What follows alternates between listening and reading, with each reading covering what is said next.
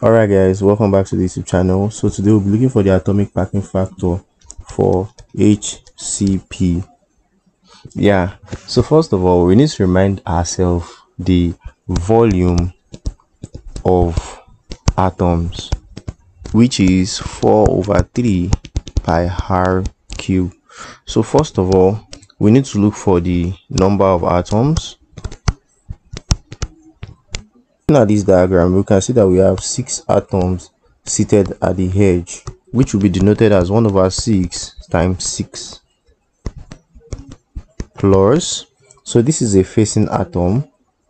This is a facing atom, and we know that every atom on the face is always divided by 2, half.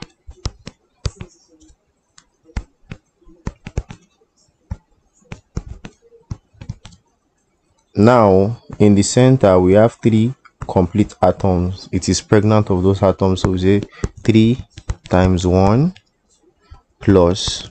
So if you look at this down part also, we have the same 6 corner atoms, which is 1 over 6. So our last bracket says 1 over 6 times 6.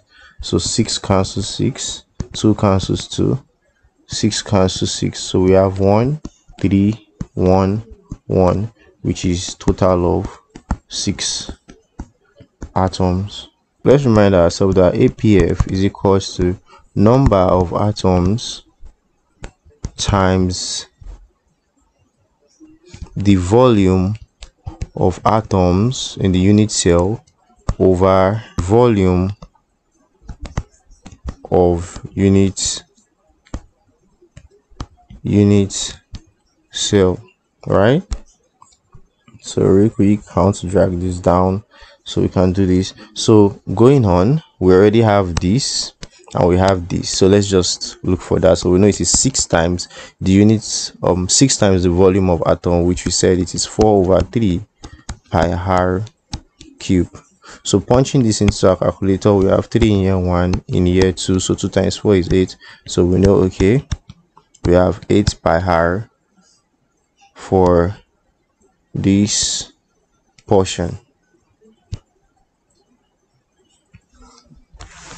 Moving on, now we need to look for our volume of unit cell. I'll need you guys to pay attention because now it's going to get very, very interesting. So let's expand this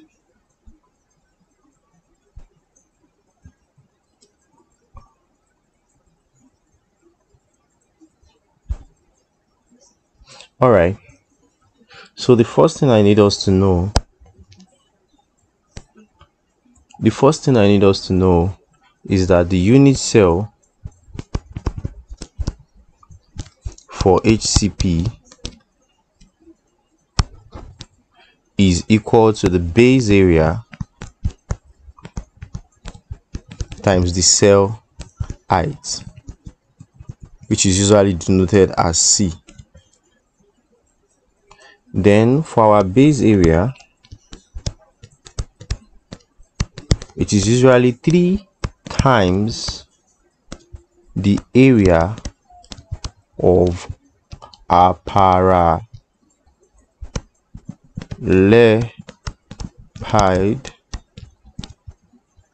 A C D E which is shown in this figure. So this is the A C, D, and E, which was drawn out here. And this is our C, which is the cell height. Right? So drawing out A, C, D, and E right? This is our A, C, D, and E. So tracing it down here, we have our B. So what it's trying to tell us that it is three times, this is the height, area of a parallelepiped is the height times length. So the length is going to be our a to c and as you can see given here any distance traveled is a. So from here to here is a. From here to here is a. So all we need is and we know that this angle is 60 degrees then this is obviously going to be 30 degrees this obviously would be 30 degrees right? So now that we know that we have our this is 90 degree so we know we have our our adjacent. Then we also have our hypotenuse which is the longer side and we have our angle so we know we are applying cos yeah so let's do that. We go ahead by saying cos theta which is 30 degrees is equal to adjacent which is our h height over the hypotenuse which is a. Then we cross multiply making h the subject of the formula. Then cos 30 is known as root 3 over 2 sorry 3 over 2 times a which is equal to our h. Right then remember that i said here that our area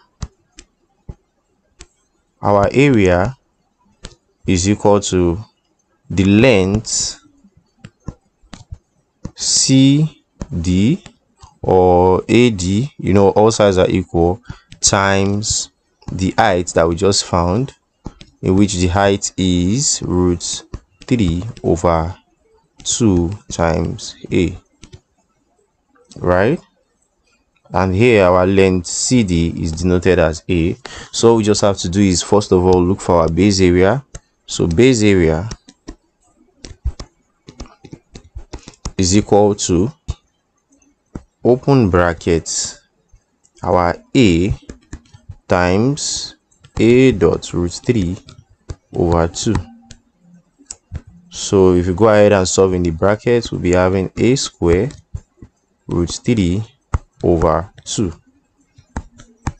into a bigger bracket 3 so by the time we expand this totally so therefore our base area would be 3a square dot root 3 over 2 therefore this that we just found here is our base area and if we should go back to the formula above where we said the unit cell volume of unit cell is equals to the base area times the cell height. So now we know our base area to be coming here now volume of unit cell we know our base area to be 3 a square root 3 sorry this is a square root 3 over 2 times c. But then i want us to take note of something right so i'm going to be writing something now let me change my ink so I want us to recall that A is equals to 2R. Some of you might be wondering how is A equal to 2R. So remember our paralleloparallel. We have circles. So this is our A whereby we have one radius, one radius. So adding both radius, it becomes A is equal to 2R, right?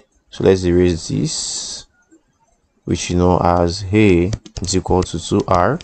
Then at the same time, you can always tweak your formula to say R is equal to a over 2 whichever one you want to do.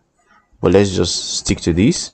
Then there's um something else we need to take note of which is the ideal ratio for hcp and the ideal ratio for hcp is c over a is equals to 4 over root 6 which is equal to 1.633 then we could as well say c is equals to 1.633a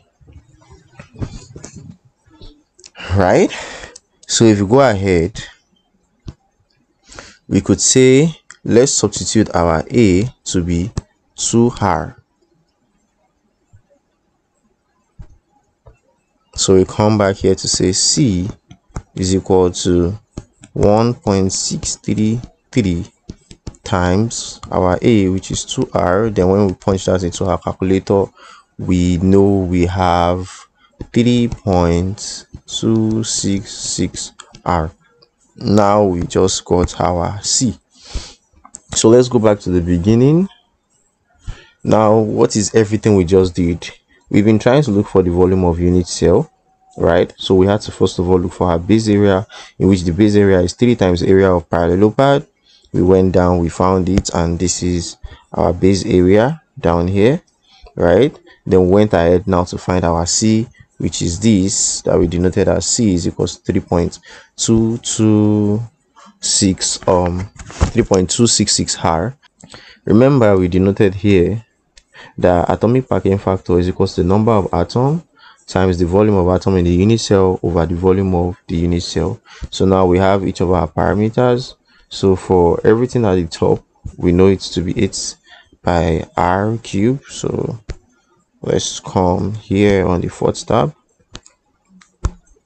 Okay so now we can say our atomic packing factor for HCP is equals to 8 pi r cube over 3 a square root 3 over 2 times 3.266r. Now, we could as well simplify this in such a way that this a will not cause a complication for us. We come here, the equation becomes this over 2 times recall that a can be represented as 2r so we substitute a as 2r so it becomes 3 times root 3 times 4 times r square over 2 which is 10.4 r square. So we come here looking for our atomic packing factor we erase this and substitute it as 10.4 r square. So this is an r this is an r they cancel three of these r's right? Then when you punch this into your calculator you should arrive at 0.74 percentage for your hcp structure. All right guys make sure you subscribe to the youtube channel. Thank you and peace out